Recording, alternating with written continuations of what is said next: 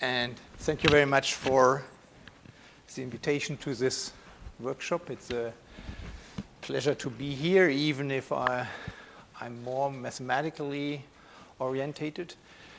But I hope that I can, can, can convince you that mathematics is sometimes helpful to improve statistical technology.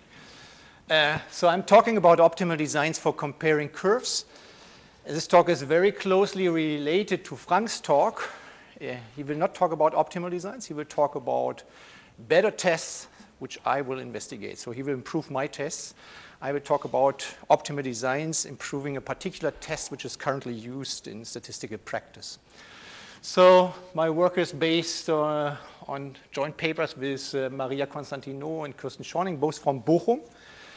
Um, and uh, that's what we are going to do. I give you some motivations. So the motivation is very similar to the motivation that Frank gives. I actually steal some transparencies of him, uh, extended it. Then I talk about testing for similarity. Um, I talk about optimal designs for comparing curves. So everything is related to the establishing the equivalence of two curves. And then I talk about some kind of robust designs, um, Bayesian designs, if you like, and then I will draw some conclusions. So here are four motivating examples why a comparison of curves might be interesting. So the first one is uh, that you have different populations from different geographic regions. And the objective is that you somehow want to extrapolate information from one population to the other. Okay, and so if you, and then this might be interesting to demonstrates that two curves, for example, dose response curves for one population and for the other population are somehow similar. Uh, the second one is somehow also related. So you have two dose response relationships. And for example, once daily treatment and twice daily treatments. And you want somehow to establish the similarity of these two treatments. The second one, uh, the third one is more challenging. Most of you might, might know about bioequivalence. So if you compare different drugs containing the same active substance and you want to claim bioequivalence, and you know, some of you know that most traditional measures are based on uh, area under the curve or Cmax or on both. Okay, and of course you can have two curves which have the same area under the curve, and the same max, but they look, can be, look quite different, like these ones here. So they, these are some extreme cases. And it might be better to compare the curves directly instead of comparing some kind of real values measures that you draw from these curves. So, so it might be better to compare these curves directly instead of comparing the AUC and the Cmax, okay? Because they are both, for both curves, they are the same, uh, but the curves are not the same, obviously. I know that this is a very strange example. It's uh, somehow provocative. Okay, the third, the fourth example is uh, drawn from some joint work which we are currently doing with the European Medicines Agency. It's about the comparison of dissolution profiles, um, where you have some in vitro dissolution profiles uh, for, from a test reference and a product. You measure at different times, and the people from investigating dissolution profiles, they actually want to see if the profiles are the same. And they have uh, some very strange measures derived from MANOVA and some, yeah, I would say some classical statistics, but they somehow ignore completely the relation of the curves. So it might be better to compare these two curves directly instead of drawing some kind of MANOVA measure. It's called F2, and then they have all kinds of arguments if the, two, if the two quantities F2 from one population and the other population are the same, they argue that the dissolution profiles are the same, but it, uh, it might be better to compare these curves directly. Okay, so that's my motivation for things. So all what I'm saying is not related to dose response curves or anything. It's just related to the comparison of two curves. You just want to see if two curves are somehow similar. Nevertheless, I will always rephrase to dose response curves in order to keep uh, things more focused, but the methodology is generally applicable. Okay, so here are two dose response curves from different populations. Frank is always saying European and Japanese. And we want to know if these two curves are similar. Obviously, these curves on the two pictures are not so similar, but they could maybe look more similar if you uh, have different data. And if they would be similar, then we could somehow try to extrapolate data, uh, information from one population to the other. Okay, so these curves are not so similar. Of course, you have to define similarities somehow. Okay, so this is a mathematical model. We have two groups. We have two parametric nonlinear regression models. Very simple. In each group, we take uh, NI observations. I will make this more specific. I specific. Oh, this was too quick. I, I, have some, I assume some normal distributed error, which is not really important, uh, but I'm a mathematician, so I always make things very specific. You don't forget about that. We have these unknown parameters here, and then we have a design space, which I usually call dose range, but in the design of experiment literature, we call it design space, okay? Because we are uh, we are allowed to take the, to, to, to, to choose the dose levels later on, okay? So that's the reason why we call it design space, because we somehow design an experiment by choosing the different dose levels to, uh, which we use for allocation to the patients. Okay, did I forget anything? No, I make that more precise later. Okay, so the problem now is we have these two parametric regression curves. We don't know the parameters. We estimate the parameters. We want to somehow to conclude that the curves are similar, I already mentioned. If, they, if we somehow could conclude that they are similar, we could uh, transfer information from one curve to the other. Okay? And there is a procedure for doing that. I will describe that in very much detail later on. And we are interested in optimal designs for that procedure. Okay? And uh, uh, in order to minimize the sample size, because this research is funded by the IDEAL project, which uh, is the logo at the beginning of the transparency. It's a specifically program from the European Union for integrated design and analysis of small population group trials. So that's our funding. It's the same funding as Stephen uh, mentioned. So we are in the same grant, yeah, but we're doing rather different things. Okay. All right. So let's make it more clear. So we have some kind of metric measuring the distance between these two nonlinear regression curves. Okay, you can take any metric. I will make it specific uh, later on. And uh, then we, or it's actually not my idea. So people in the literature, they phrase, they somehow formulate the hypothesis of similarity in the following way the distance between these two curves is larger or equal than a threshold delta. You have to specify the threshold. And the alternative is that the distance between these two uh, curves is less than a pre-specified threshold delta. Okay? And, and we put this in the alternative. People who know bioequivalence uh, know why, because we want to decide for similarity at a controlled type 1 error. Okay, that's the reason why we put it in the alternative. Okay, and in this talk we just look at the maximum difference. The maximum difference is actually uh, yeah, easy to interpret, and it's also mathematically the most interesting one. Okay, so if we look at this one. Okay, here's a picture, so it's not very difficult. So what is the, so we have two curves, two typical dose response curves. One is a well-known Emax model, and the other one is a log linear model. Okay, and we have these two curves. I draw, you see that on the figure.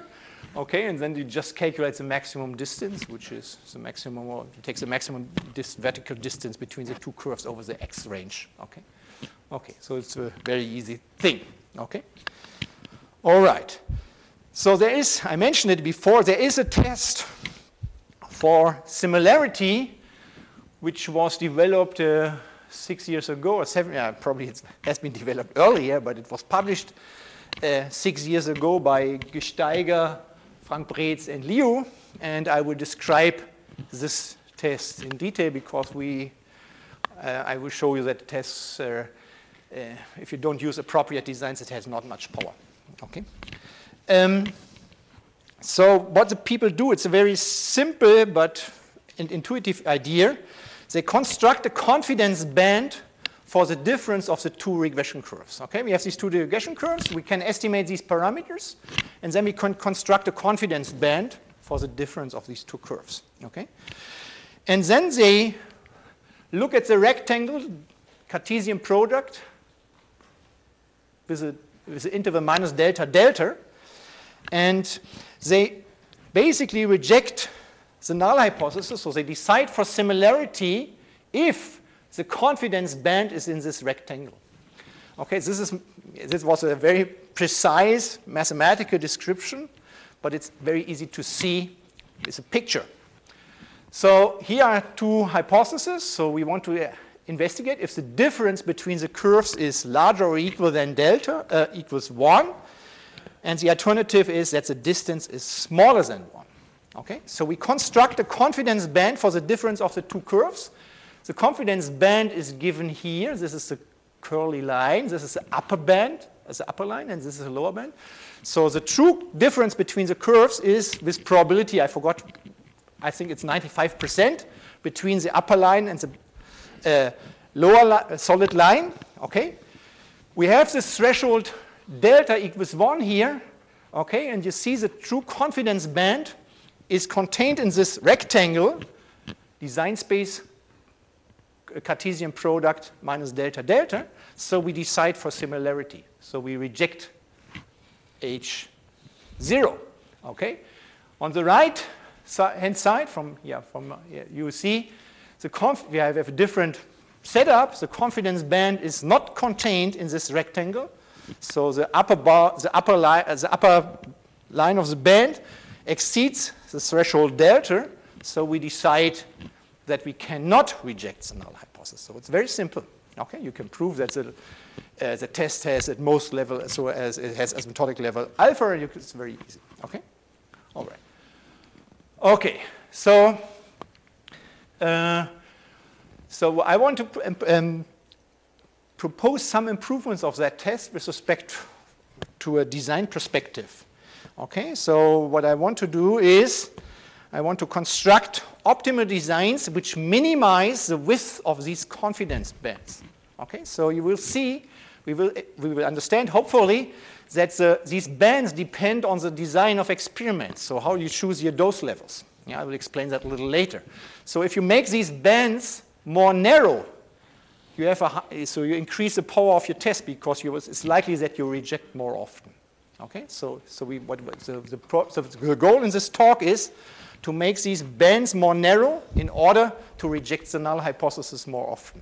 Okay, so, and we will do that by choosing uh, an efficient design, and it's called, it's based on a paper in the Annals of Statistics, so it's a it's a very theoretical journal, but it has many, so I will demonstrate, so I will not talk about the theory too much, so we will talk about the applications of these results, okay? The idea is to minimize the width of the confidence band by the construction of good designs because if it makes the bounds, bounds more narrow, it's more likely that we reject. Okay, this will increase power. And it will increase power by a factor of 50, I would say. Okay, so I will demonstrate that later. Okay, compared to a standard design. Okay, so I want to emphasize this is not a standard design problem. That's the reason why we got it published in the Annals. So it has never been. So it's not standard. You will see. Okay, so if we want to achieve these goals, we have to take a more closer look at the test. The test is very simple, but I now have to describe it a little more detail in order to explain what we're doing. So, so more details for this test. So we have two designs for two samples. Okay, we usually write it in the design literature as a matrix.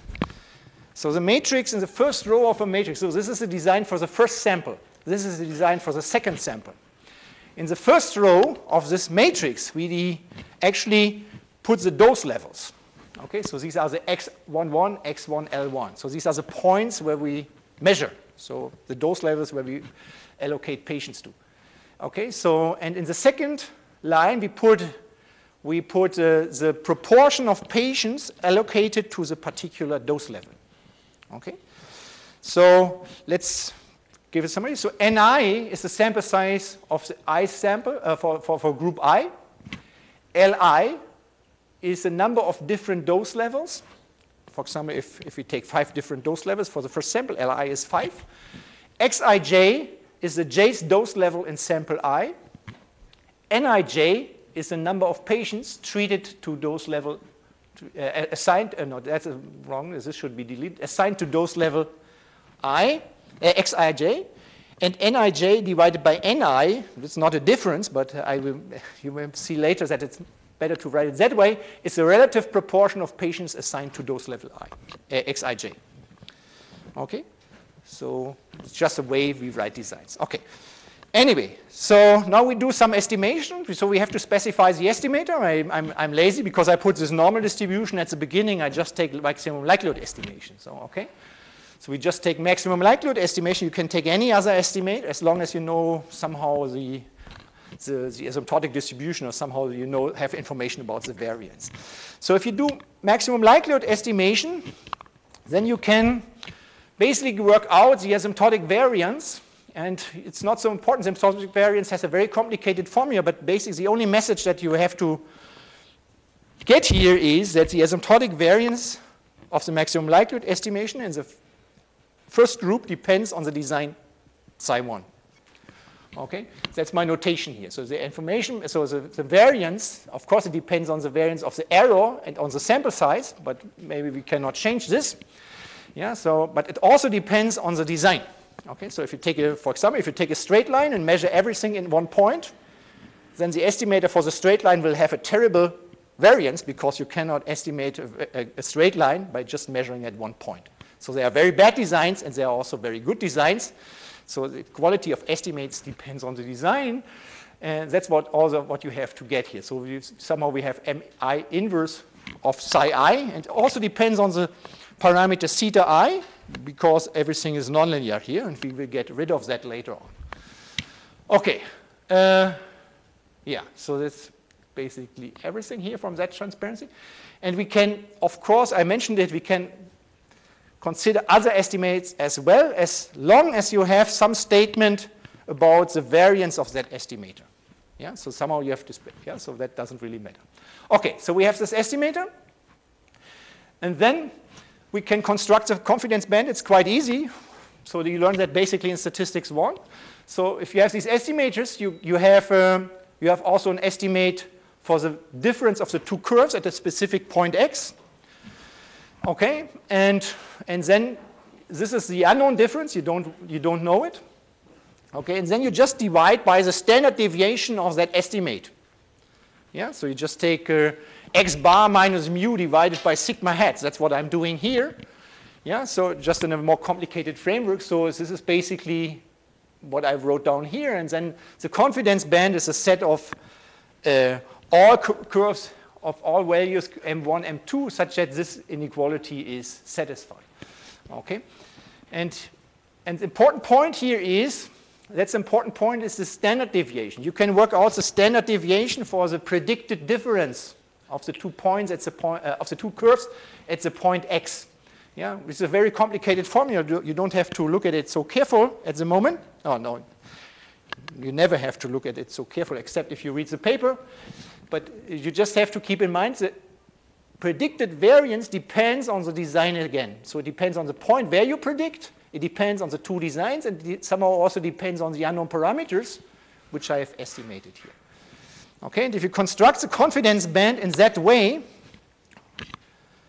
the, no, and I also have to take a little bit about, talk about a little bit about this D. You could take the normal distribution quantile, you can take a bootstrap quantile, actually Bretz and Gsteiger and co use the parametric bootstrap to get this D here. So, but the message that you should get here is, is that the band, the width of the band at the point X depends on 2 times D, times standard deviation. Okay, okay, and so and this is the important point here. And the standard deviation depends on Ci, uh, psi one and psi two. So we can try to make the width of the confidence band smaller by choosing the designs appropriately. Okay, let me give you an example. So we are here's again the same example that we had before. We have the design range, uh, the dose range is the interval 0, 1. And this is the Emax model, and that's a log linear model. So we want to test the hypothesis that the maximum deviation, it's a very strange hypothesis. You see the curves are very close. We want to test if the, that the maximum deviation between these two curves is 2.5, and the alternative is it's less than 2.5. Okay, so we want to use this test of Gsteiger et al. And actually, I think we should uh, reject here, right? Because it's so small. Anyway, so what you now get here is, so we have to choose the design. So I choose two st somehow standard designs in this setup. So they are, we took equal allocations. At the beginning, we took a take a few closer dose levels here. So it's 0, 0 0.5, uh, 0 0.05, 0 0.2, 0 0.6, and 1. And then we take, because we have 100 observations, we take 20 at each of these dose levels. Okay? All right, so what I then did is I, I run a simulation study and constructed the average confidence band. Okay, the, in the average. So this is a simulated confidence band based on 100 simulation runs. It's this one, okay? Here it's a, this is a zero line and this dash line is the estimated difference. Okay, now we reject the null hypothesis if the null hypothesis is, uh, is uh, that the maximum deviation is larger or equal than 2.5.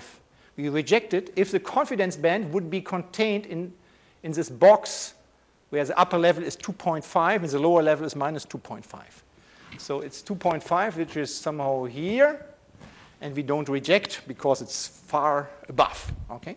So this indicates that the test, if we use a standard design, is very, very conservative. So it even does not detect that, uh, that the distance is smaller than 0. Point, uh, 2.5, although the distance is about 0.1. Okay, so the reason is that we didn't choose a very good design. Okay, so we can do better. And I will explain you how. So can we do better by choosing a nice design? I would not have posed this question if we could not do better. Okay. All right. Okay. So what we're trying to do is uh, we somehow have to, let me go back. We somehow, these are standard designs, so they, yeah, somehow they are equidistant in, at least a part of that point is equidistant on a logarithmic scale. Um, and the way, the, the, uh, the number of patients is already uh, the same, so somehow they are close to uniform design. Um, so what is this? So in order to do better, we have to somehow choose the designs appropriately. And to do this, I have to make a quick move to some basic facts of optimal design theory. It's uh, not very difficult, but the main trick is that we replace these weights here, which are uh, uh, multiples of 1 over the sample size of the first group and 1 over the sample size of the second group by arbitrary numbers between 0 and 1. Okay, so that's what, what we do. So we replace these relative sample size by arbitrary numbers of 0, 1. So for example, uh, if, yeah, and um, no, I should I explain it a little later. And also we replace the total sample size by the relative total sample size from the first group to the total sample size first group plus second group by an arbitrary number lambda between 0 and 1. And that's called approximate design. Yeah? And the reason is the reason why we do approximate design is that's optimization. So somehow we have to optimize later on something. We have to optimize this minimum width somehow of the, uh, the maximum width of this confidence band small. So we somehow have to optimize the maximum width of the confidence band. It's impossible to do it for these designs because it's a nonlinear, highly nonlinear, non-differentiable discrete optimization problem. So it's the worst thing that you can get in optimization theory.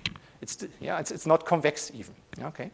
So we make the problem convex to get it simpler. Okay? And at the end, if we find an optimal design where we have, I don't know, we get an optimal weight here, which is one third, then we do some kind of rounding. Because if we have 100 observations and we want to uh, assign one third of 100 observations to the placebo, we cannot do it because we cannot divide 100 by 3, but then we do a little rounding. Maybe we assign 33 patients to the placebo.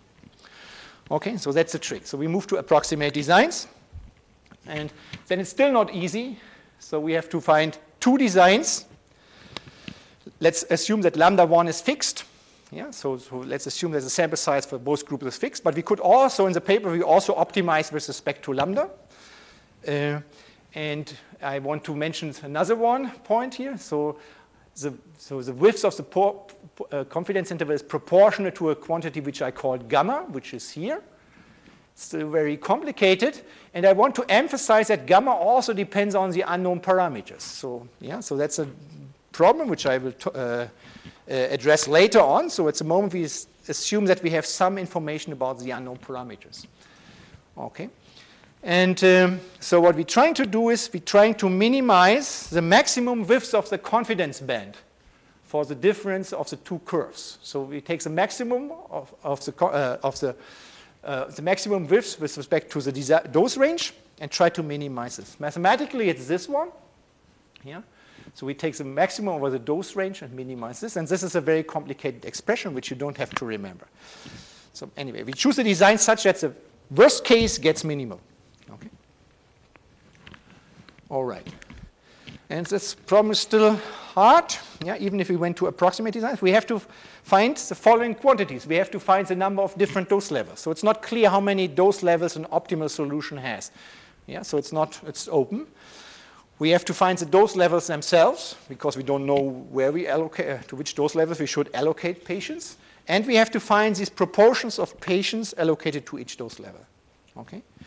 Another point is, I already mentioned it, the optimal designs, at least as I formulated in uh, right now, depends on the parameters theta 1, theta 2. The reason why I do this at the po point is that, that it's more easy to understand the basic concept. Yeah? So, it's a, so let's assume that we have some prior information about these parameters. But you can, if you, if you understand the methodology I've presented here, you can always extend it to make it, uh, to do, do something different. For example, you can do Bayesian optimal designs. I will talk about that later. You can do standard minimax optimal designs, which I like very much. Or you can do, which you like very much and I don't like, adaptive designs. Okay? So, uh, so you can extend it. So I stay with, with some, uh, assuming some prior knowledge about the parameters at this point. And these designs are called locally optimal designs because we assume that we have from previous studies or similar studies some knowledge about the parameters. Okay, so, so the, the uh, from, from mathematician is, uh, is that you, basically you have to find these designs numerically. It's a very complicated optimization problem. And um, there's no chance. In the paper, we have very nice solutions for interested, for, from a mathematical point of view, where we've actually solved these, these, these problems explicitly. Uh, otherwise, we would not have published it in the annals. But the models that we consider are not so useful. Yeah, let's say, or the problems are not so useful. So if you have interesting problems from a practical point of view, you have to find these designs numerically. If you do a numerical optimization, it's not clear that you find the optimal solution. Yeah, because you just put it in the computer. The computer says, well, this is the optimum, but it's not clear that you find the optimal solution. So here I can offer you an opportunity to check if the solution is really optimal. Okay? The idea is very simple. Yeah, because everything is convex. Yeah, so if you, you know that from high school. So yeah, minimize a function of this type, which is convex. Okay, the only thing that you have to know is if, if, you, if your computer gives you a solution is that the tangent here, the slope of the tangent is zero. That's what you have to check. Okay? Here it's not so easy because our, our optimization problem is an infinite dimensional one because we don't know the number of dose levels, we don't know the, dose levels themselves, so it's infinite dimensional. So the, uh, this checking condition is a little harder.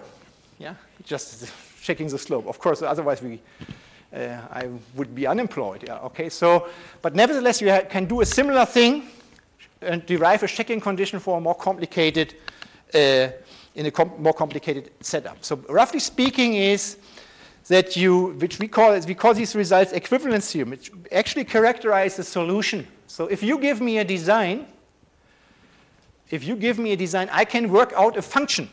I don't, don't look at it so I, I can work out a function which is I call L. Okay, don't look at it so carefully. So I can work out a function which I call L. And, and then I only have to check the function, if the function is less or equal than zero. And if it's less or equal than zero, it's, I, you have given me the optimal designs. So, okay, so that's the basic message. So I don't go into all these details. It's just, it's very simple. So as a function is here, it looks very complicated. But uh, it's, it's well defined and it's, it's, it's, easy, it's easy to put on the computer. So the basic message is you give me the designs, two candidates, which your computer has found. I work out this function L, which is a function of x1, x2. I check if this function is less or equal than 0. If it is, I have, uh, we have found the optimal designs. Okay? That's the basic idea. Let's do that in an example. Yeah? Um, this basically this, this, this, condition that's less or equal than zero is basically the same as the slope is zero here in the one-dimensional case. So let's do it in an example. Again, I have the Emax and log linear model. I have, uh, yeah, we have, we have seen this picture quite often, so I apologize for that, but I usually try to stay with the same example. So now I put everything in my computer, okay? I end up with two numerically calculated optimal designs. The first one says, well, we should use three dose levels for the Emax model, and the relative proportion of observations taken at each dose level is uh, approximately one third. Okay. The second, for the second sample, we should, for the log linear model, we should use this design, dose level 0, 0.151, and again, the uh, number of, the relative proportion of total observations taken at each dose level is one third. Okay? Now we don't know if these designs are optimal. So what we do is we plot this function. Okay? So we plot this function. This is a plot of the function x. So these are the two design space. We see it's below zero. We know the designs are optimal. Okay? This is basically checking if the slope is zero. It's nothing, no difference, yeah, uh, except that everything is infinite dimensional. So you look at at many directions where you should could go down. Okay. All right, so the designs are optimal. Okay, so that's nice. So we have found the optimal designs. Now we, let's see how, what we win. Okay, so that's what we win. So now I have these simulated confidence bands. So you, the blue line is the truth. That's the difference between the two curves. So it's very small. So the red line is the, the estimated difference of the curves after 100 simulations. The upper black line is the confidence this is the upper line of the confidence band, and this is the lower line of the confidence band. On the left panel, you see the confidence bands that we get from the standard design. I have shown this before. Okay? On the right panel, you see the confidence bands that we get if we would use the optimal design. So they are much smaller, so you might, so we, we will definitely increase the power because the smaller the confidence, the width of the confidence band is, the more likely it is that the band is below delta or larger than minus delta. Okay, so you can see that even if you simulate the power, so I simulate now the power uh, as a function of the threshold, okay? And you see now here, the larger the threshold, the larger the power. So if you would use the test of Gsteiger et al. with the standard design, you would see it has no power at all. So it has no power at all. So I hope Frank is not blaming me. So, but anyways, there's no power. Okay, if you use the optimal design, you see that you get some power. Okay, so I hope this is convincing. Let's go on. So now I move on because in all what I have done is I assume prior knowledge about the parameters theta 1, theta 2. Let's see what happens if we misspecify these parameters. Okay, here get another simulation. On the in the box, we have an Emax and an exponential model. So this is the Emax model again, and this is the exponential model. Well, the construction of the design assumed that the parameter theta 1 is 0.2, the parameter theta 2 is 0.7, and so on. So the construction of the design, assumed that these are the true parameters. But of course, I don't know which are the true parameters. So what I did is I did the same I, I did a simulation using different parameters from the ones that I have assumed here. Okay, that's what you see here. For example, in, my, in this simulation study, I assumed that the parameters are not 0.1, 2, 0.7, 0.2 as used in the design construction, but they are 0.1, 0.31, so it's just 50% of them. So I just divide everything by 2, I just thought. Okay, and for the exponential, I did something different anyway. Okay, and what you see now here is the same picture. So these are, these are the confidence bands that you derive from the, from the standard design. The solid lines are the confidence bands that you derive from the optimal designs, even if the parameters have been misspecified. Okay, so still, you still improve. Maybe not as much, but you still improve. And the same is here. So I doubled every, no, I didn't double everything, but I doubled something. Okay, and you see again, even if the parameters are misspecified, so it really doesn't matter, so you can do better by using the design. So they are somehow not very sensitive with respect to the choice of the parameters. Okay, that's what I done here. So this is just a repetition. Here are my curves again. Oops, it was too far. So this is a standard design, and this is a confidence band derived from the optimal design with respect to misspecified parameters. So the conclusion here is we can even achieve an improvement if we misspecify the parameters. Of course, if we misspecify them completely, we not, might not achieve an improvement. So that's true. Okay, the, then the next question is, can we even do better if we incorporate the uncertainty about the parameters and maybe also about the models. So it's not clear that you use an Emax model for the first sample and an exponential model for the second sample. You might want to use another model for the second sample or two Emax models for both samples. So can we even uh, uh, somehow be robust with respect to the assumption of the models? Okay, and that's quite easy to do. This is, that's what I mentioned. This is standard technology in our optimal design of experiments or maybe even in statistics. So if you are a Bayesian guy, then you just do the following. So we know that local optimal designs maximize a quantity which depends on unknown parameters which have to be specified in advance. So if we want, don't want to do that, we can put a prior distribution in these two parameters, say pi 1 and pi 2, and just take, just take an integral with respect to the prior distribution. Then we just average out the uncertainty with respect to the parameters. So that's some kind of standard. Everything getting more complicated, but it's a standard. Okay. And so uh, we have seen this is maybe not necessary. I just introduced it because we have already seen that the designs are not so sensitive with respect to misspecification of the parameters. But what's more important is if you misspecify the model, then you really lose a lot. So if you calculate optimal designs for two Emax models in both sample sites, but use these for exponential models, then you lose a lot. Okay, so that's what I wrote here. So usually the designs are sensitive with respect to the model assumptions. So that's a very well-known fact. So you have to be careful about the model assumptions. Okay, so that's what I wrote here. An optimal design for two Emax models might be very bad for two exponential models. But we can address model, model uncertainty as well. Yeah? So assume that you are not sure if you want to take Emax, log linear, or exponential models. Let's assume we have P models, which are somehow competing. Then you have to choose a model MI for sample 1 and a model MJ for sample 2. You assign for each combination a non-negative weight, alpha ij. Okay, and this somehow reflects your, per, uh, your personal beliefs, how likely these models are.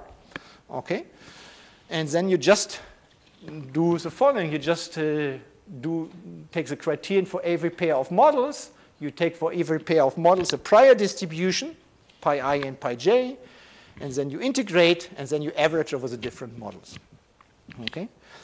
And this is more complicated, and that's the reason why I didn't talk to about that so far. But the basic message is that you get the same results as before. You get a, we can construct an algorithm which is calculating these optimal designs, and we can construct a model, a, a, a check-in condition to check if the numerical constructed designs are optimal. That's the basic me method. But everything is, actually the formulas do not fit on these transparencies anymore. So they are very lengthy and uh, also a little boring. So, but the message is the same.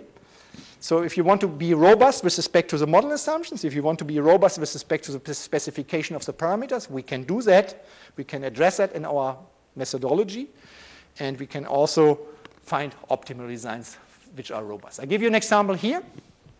Um, we have three models, so everything is very brief. So we have three competing models, M1, M2, M3. Emax, exponential, log linear. We have some, some kind of specified parameters which I keep fixed at that model.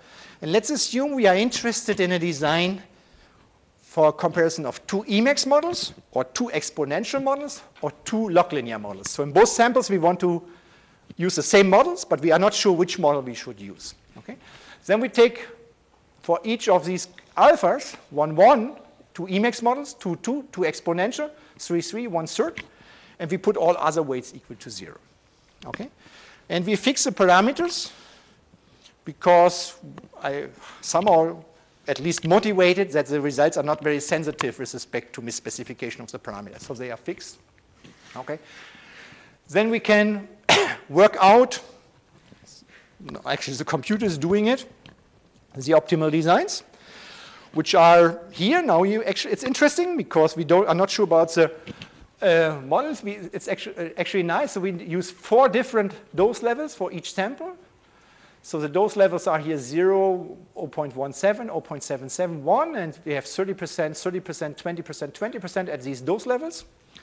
So, and here the second sample is somehow similar. So we can work that out. I don't, I don't display the shaking condition, but it looks very similar. And what I want to show you now is the following result. So I want to show you how efficient these designs are. I don't define efficiency, but efficiency basically means 100% efficiency is good. Okay, so 100% efficiency. So basically, we measure with respect to the best design which we could get if we are sure that we have two Emax models. Okay, then, then it would be close to 100. Then, so, so this design would have 100% efficiency. So what you see now here is that we also improve the standard design again, yeah, um, in all cases. Yeah, so it's much more efficient than the standard design. You could also, ex again, express it in pictures by looking at the confidence bands again. Okay, so I have three more transparencies to go. This, these are the same designs again, but now I want to look at uh, the case. So I've constructed designs for two Emax models, for two exponential, and for two log linear models. So they are, in both samples are the same. But it might be, at the end, you might be undecided and want to use these designs for a Emax model and a log linear model in the first and second samples respectively. So you want to see, I would like to look at the case, how good are these designs for, if you use them for other models, so if you use them for models which are not the same in the, in the first and second sample. Okay, what you see now here is, for example, if I use the new robust optimal design for the log linear and exponential model, we have 67% efficiency. For log linear, we have 89 and we have 69. So it's always better, better than the standard design. So it's always better than the standard design. You can not expect too much because we now have a lot of uncertainty in our specification. We want to be robust against the whole world, so you cannot be particular good in, in one scenario. But nevertheless, we improve the standard design. Okay?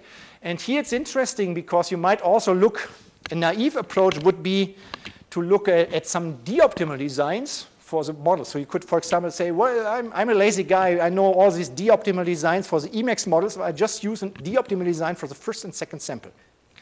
Okay? If you would do that and would, at the end, fit a log linear and exponential model, you would have 2.21% efficiency. It's really bad. Okay? So for the log linear and Emax, it's better, of course, because we have one correct model here. And here it's again worse. Okay? You see, so, so you should not use d-optimal designs in these curves because the design problem is completely different from everything you have maybe seen so far.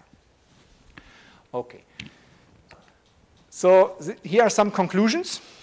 Uh, so I hope I have convinced you that the problem of testing for similarity is interesting and maybe also fundamental in, in biostatistics. And, and Frank can try it again. Uh, the power of the test of Gsteiger et al. can be improved if you use optimal designs. They make basically the confidence bands more narrow, yeah, such that you get more power. The designs can be constructed such that they are robust with respect to misspecification of the model parameters and also to misspecification of the models. Another uh, message is standard designs are not efficient in this context. So if you would use uniform designs, uh, they are not efficient. Even worse is if you would say, I have two models, I just, just use the two individual d-optimal designs. They are not efficient for that purpose. You should not use them. Uh, the resulting procedure is substantially more powerful than the procedure which uses the standard design, but it's still not a good test. Yeah, so the, it's still not a good test. I already indicated it. So it's still, even if you use the best designs in the world, you cannot improve this procedure such that it is very good. I I've suppressed some information in my previous simulations. I give you now the reason why. So this was my simulation. It looked very impressive. And uh, so this was the power that you get for the standard design. And this was the power that you get for the optimal designs. Okay, but the true difference is 0.13 in this, this simulation. So we should basically, if we would have a good test, we should reject always. Yeah? And, and you see now we have here very extreme alternatives. So delta is 2 point, 2.0. So it's very extreme. We should not, yeah, so it's not surprising that we, that we reject in this case. So actually we should look, I didn't put it because I took the, I took the, I took the table from the paper. In the paper you have to advocate your method, yeah. So, but basically we should have looked at thresholds maybe 0.5 or something. And then, even, then the test, even with the optimal design, has not much power. Okay, so it doesn't, and then this is basically zero. Okay, so luckily, the next talk constructs a better test. Yeah, so next talk constructs a better test. So luckily, so there's a much better test. So I make some uh, commercial for Frank's talk, so you don't leave. And of course, if I would have time after that talk, I could explain you how we could derive talks, uh, optimal designs for that, talk, uh, for that test as well. So you can do the same with that test. But that's beyond the scope of my talk today, and I thank you very much for your attention.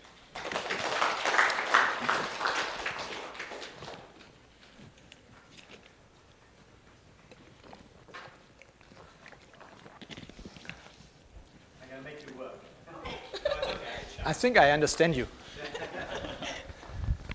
oh, very nice talk, Holger. Thank you. But um, I have one question about robustness because there are two different views of robustness, two different definitions. One is that you, in both cases, you don't know what the right model is when you come to design the particular uh, design, when you come to choose the design. In one case, which I think people more usually assume, is they assume that by the time they come to analyze the data, they will know what the right model is. That's true. The more difficult case is when you won't know what the model is. And uh, previous examples I've looked at have the rather surprising and disturbing result that the designs can be quite different for these two cases. It can be quite different if you don't know what the right model is when you come to analyze, because then you actually have to fit some sort of mixture model to the two. And you could say, well, that's not such an important problem, but I would disagree because actually I would say, how could you not know when you design what the right model is, but know by the time you come to analyze. And the only way you could know is that you've received more information. And that's then a hidden part of the picture which is not covered in the whole thing. So what was not clear to me exactly from your talk is which of the two cases you're talking about. Yeah, that's true. So this is this is something different. So we we are just this this this uh, this work actually refers to, to the situation before you have any information or any data available. So so in this setup, there's no information so far. We just start. Yeah? And then, then uh, I don't know your example, but here I'm, I'm, not sure in this setup how you would analyze the data later on, right? I mean, so, so can you so the example I have in mind is the following. It's, it's covered in a, a chapter that Phil David and I wrote together. Is that there are two possible models for carryover that you could use. And you can find a design which is actually optimal for either of the two models. But if you don't know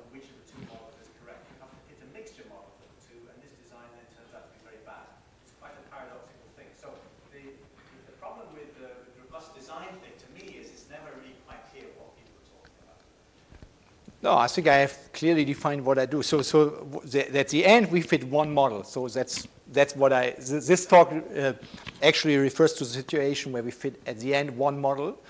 Okay, so if you figure fit, fit, would fit a mixture at the end of of these two models, I think I can address that as well. But then I would need another a different design criterion as well.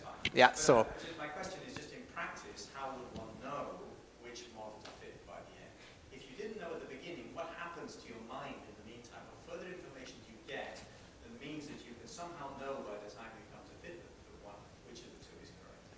No, but you can, I mean, you can, you can make an hypothetical uh, experiment. So you're saying, well, I, I have these three models at the end. So yeah, and so I will, I, will fit, fit, a mixture at the end of these three models. I actually would not do it, but anyway, you, if, you, if you want to do it, you can do it.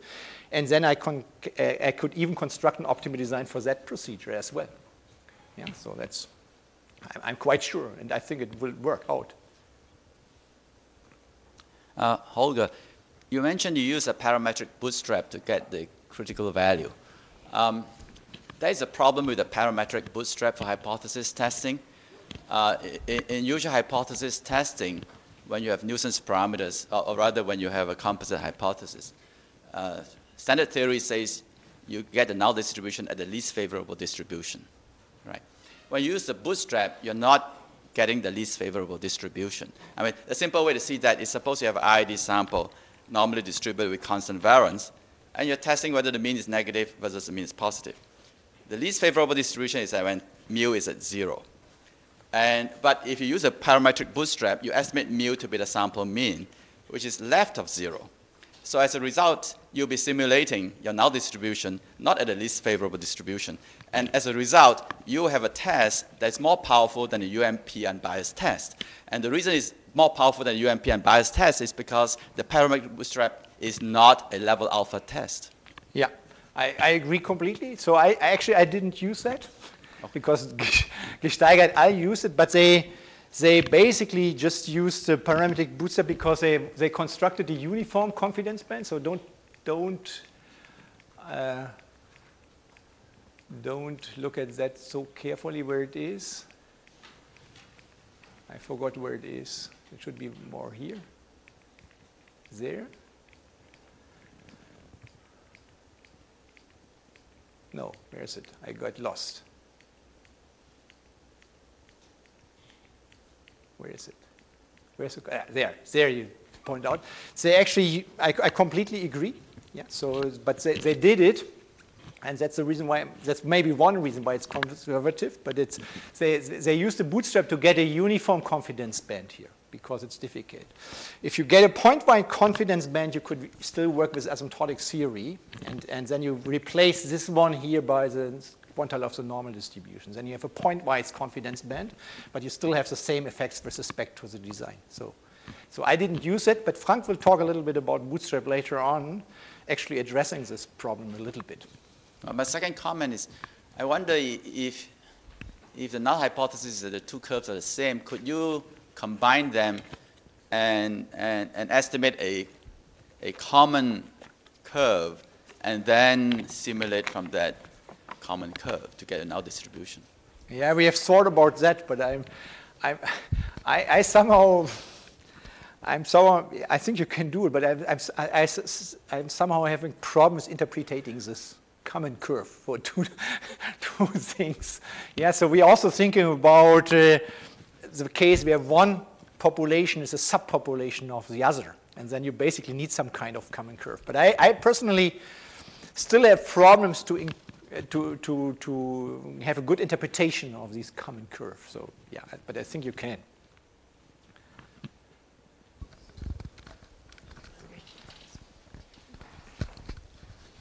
Okay, so uh, so to choose an optimal design, you need to know the could you speak a little louder? Uh, okay, so choose the optimal design. You need to know the parameter values. No, I don't understand. So you just use the micro. So, okay, so choose the optimal design. So to cho choose the optimal design, you know, need to know the values like theta one, theta two. So, but they are never known. So how so so so, if, so how do you start? So for, for, so you, if I understand your question correctly, you're, you're asking because I don't know theta one, theta yeah, two. Exactly, exactly. That's that's true. So so, and you're asking how I start. Yeah, exactly. Okay, so um, I, here in this case, so I, I, mentioned this a little bit later, but, but here it's basically, uh, all the work somehow refers to phase two trials, and somehow we have some, we assume that we have some information about these parameters, but of course, you could also, I, I you, you have to use this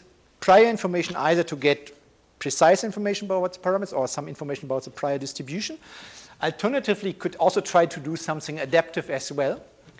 Yeah, so starting with a small sample, estimating the parameters, and then find the optimal designs. But I'm not convinced that this is good in this setup. Okay.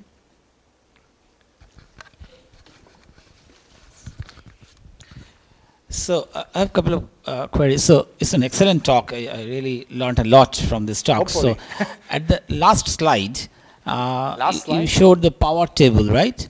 Yeah. So I don't know where it is. Yeah. the last one. Yeah, yeah. last one. So why the when you move from delta 2.5 to 3, why there is a drop in the power? Uh, I don't understand this. Oh, yeah, that's very difficult. Yeah, that's because you didn't. Uh, thank you for that question. It's uh, actually when I prepared this talk, I was thinking that I could present another table. That I was asking Kirsten to run the simulations again, but she, I didn't reach her. So, so, but, but, so you see, I mean, if data is getting larger, yeah. if delta is getting larger, then it's getting more likely to reject the hypothesis. Exactly. So Okay, so that, that basically, so if you if, I- if you increase delta here, the power should. should increase, right? Yeah. Okay. So, and what is what is yet now your question? So why there is a drop? Because delta is 3. So for delta 2.5 power is 0.91, delta is 3 power is 0.86. Oh, but this is just 100 simulations. Oh, That's oh, just oh, 100 simulations. Okay, no. Okay, okay, okay. okay. Sorry, yeah. No, no. no, if you would have to run 10,000 or something, no, it's just based on 100 simulations. Yeah. The- the- oh, thank you. Yeah, okay, I got it. So Yeah, It should increase. No, yeah, okay. So that's increase. certainly. So another thing is that, as I understand, uh, the entire test procedure is developed based on the maximum kind of distance, something like that. Ma- yeah, the maximum. Maximum yes, point. the Right. maximum should be here. Uh, It should be. So, so suppose the, the diagram that you have shown, the two curves are very close to each other, but the maximum distance you are taking, right? In this case, Yeah, the, the yeah. curves that you have shown. Now, consider a situation where one curve is on top of the other, and the distance at each point is exactly same as the maximum. So it's uniformly higher. Yeah. So, is it so? How does uh, the, what would be the performance of your test? Whether it will reject or whether it will accept? Because the maximum value might remain the same. Yeah. No, yeah, I don't know what's coming out in your particular example, but I just talked about one metric, just the maximum distance, but you can take any other metrics that you want, so- some- somehow the, the area between the two curves or whatever. So you can take different, different metrics as one. You can even def- combine different metrics, say the Yeah, maximum yeah, and actually- the area between the two different Yeah, curves. that was right? actually I Yeah. thinking that uh, Yeah, you can do that, but but uh, then the format is getting even more messy. So I try to keep things very simple, just staying with the maximum difference. But in in that paper we don't have it, but in, in the other paper on where we improve these tests, we also have uh, L2 distance between the area and the yeah, curves. because uh, tests based on the maximum usually might not have good power. Like Yeah, sometimes it yeah, will miss because it's just a single point thing. yeah. And one very small thing that I, I might didn't understand that, that in the theorem that you have shown uh, that yeah, I have uh, one theorem. Yeah, that's the only it's theorem okay, during it's, that uh, conference. Yeah. page 20. Yeah. Oh, yeah. you're very careful. Thank you.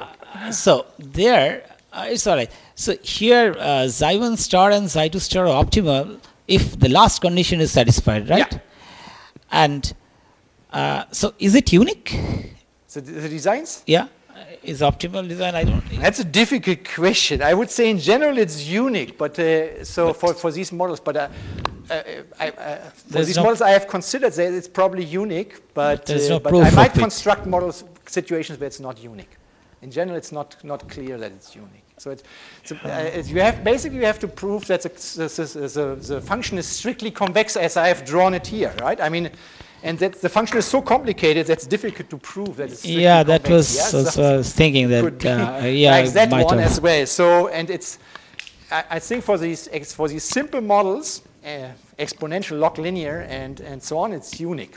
Yeah, but we never proved it because our theory works for any model, and I'm sure that I can construct models where it's not unique. But that's that's a mathematical Yeah. exercise, but not very useful. Uh, uh, another small, I'm just thinking, uh, like the curves that you have shown, we can think of this curve as kind of functional data. oh yeah, as a curve. Uh, so as we know that uh, sometimes a functional, when, when we deal with this functional data, uh, the gradient, the slope plays a very important role. yeah. And the, the, the test that you have constructed, especially the h function, uh, this is again a function of the slope of the curve, right? No, no, Is no, a del del, there is a differential. no, no, no. It's more complicated. It's complicated, but No, no, the- no, it's the- a- it's if you go back to the next slide, no, no. It's basically, yeah, no, I don't think so. So you have. yeah, there is a del del Yeah, theta one. but That's, that's uh, somehow that's somehow, uh, uh, this, this, this slope somehow occurs random. So basically what you have is, mathematically what you have is that you optimize a function of two probability measures. So it's, it's yeah, so we have a function right. of two probability. And then this, this, this L function is basically the subgradient of that function with respect to stability. It no- does not have much to do with the, with the slope of the functions. It's, it just happens here accidentally. Oh. Yeah, so it, uh, I don't think it's a, uh, I don't think that you can s- phrase it in that way. Okay. One last question. Can I ask the last question? or somebody? Oh, sorry, okay. No, no. You can ask me I'm sure later. we can have continue. So, so my, my question was uh, about the models. So if, if model one isn't nested with, within model two, then technically the difference isn't zero for, for any set of values of theta. Yeah. So I was wondering whether you had to adjust your power of the test due to that. Because I mean, I could be really stupid and pick two models that give me, uh, you know, Okay, so you want to have nested models, that's what you're saying. Yeah, yeah, I was just wondering why, given that you want equivalence between two populations, why you wouldn't assume nested models. I don't know. So we didn't, we didn't investigate this part for nested models so far.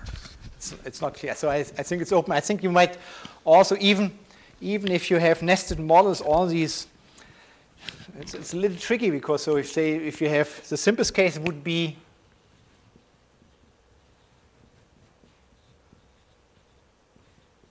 and then you have theta zero as two nested models, right? Just non-effect and, and this Emax effect, okay? And even here, it's not, so even there, it's not clear to me how to do that. We didn't, we didn't do it so far, yeah, so it's, it's not clear. Theoretically, the delta could be zero, Theoretically, the delta could be zero. whereas if I pick two unnested Yeah. theoretically the difference doesn't have to be zero. Right, that's right. I- I- it's- uh, we didn't investigate, but at the first glance, I would say that the theory is not, not changing, actually. Yeah. So that's, that's, uh, I don't think that this makes a difference. As long as, as long as the maximum likelihood estimates have this, this uh, appropriate properties, I guess. Okay, uh, thank you for a very interesting talk, and we have a half an hour break, and I'm sure we can continue the discussions. Thank you.